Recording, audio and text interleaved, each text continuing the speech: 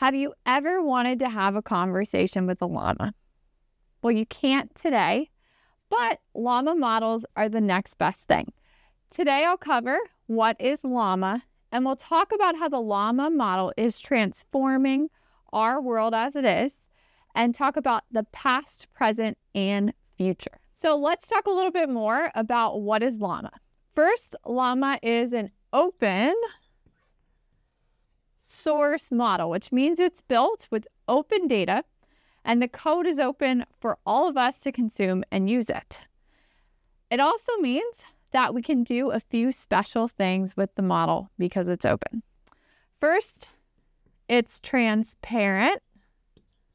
So we can see exactly how the model was built and we know its shortcomings as well as where it may outperform others. Second, we can customize it. There's a lot of benefits to customization and being able to actually parse the model, potentially create smaller models and do things like fine tuning to make sure the model works specific to your use case. Third is accuracy.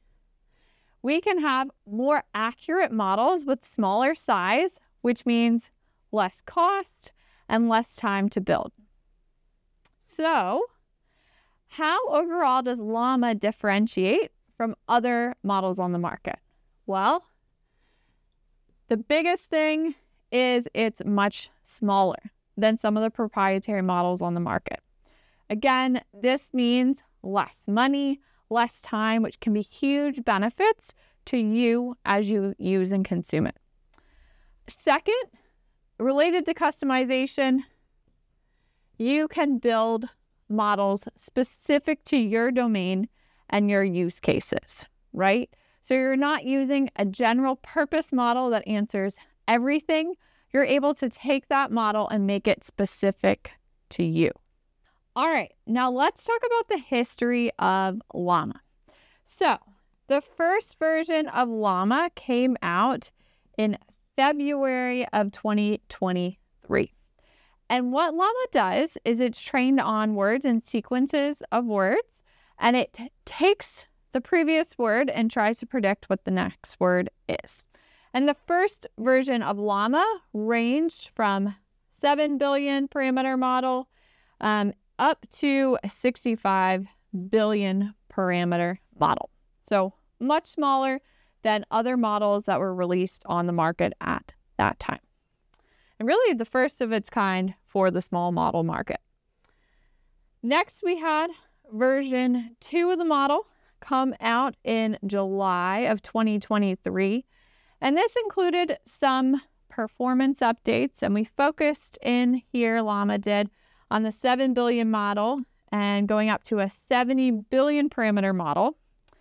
And if we look at the performance compared to size, what this did with each release is with the first release, you know, let's just say we had performance, good performance, and small size. Now, with the second release, with the V2, um, we had stronger performance relative to the same size. So, much higher performance, and that focus really continued on with the future releases.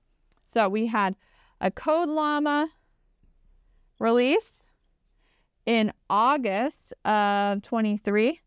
And these were code models specifically.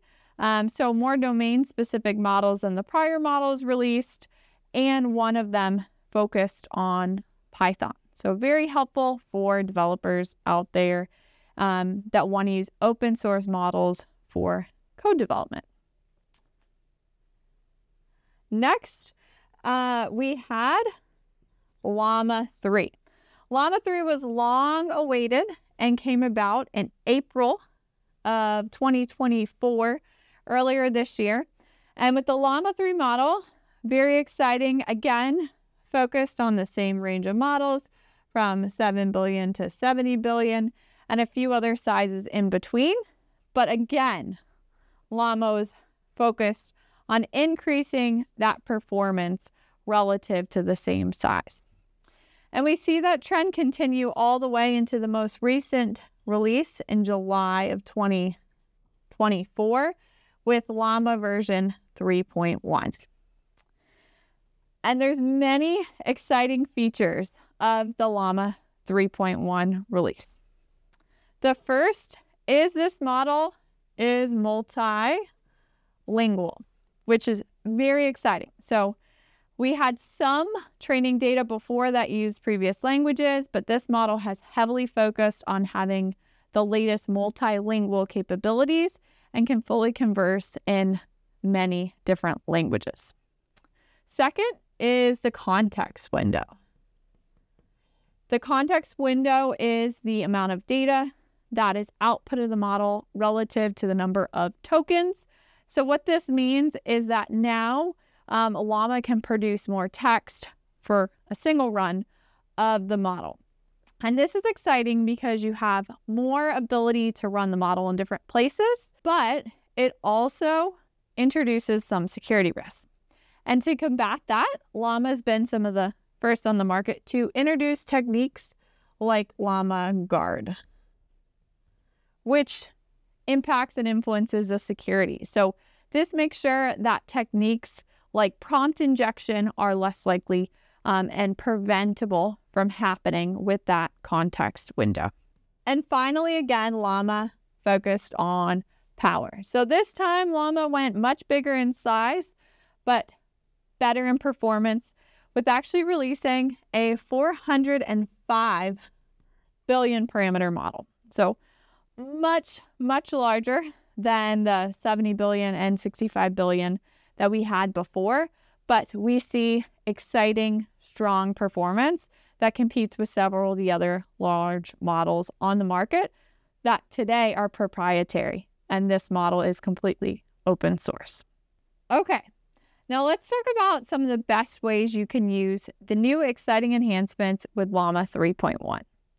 First is for data generation. So you can actually take the 405 billion parameter model and you can generate your own data. This is particularly interesting to data scientists and data engineers that may have spent days or weeks sometimes getting access to the data you need to build a model. Well, now you can use synthetic data generation to generate the data in just a matter of minutes, which is huge, huge productivity enhancement. Next, we have knowledge distillation. So we can take that model and break it down and also find more specific domain applicable use cases. And then finally, we can use the model as an LLM judge.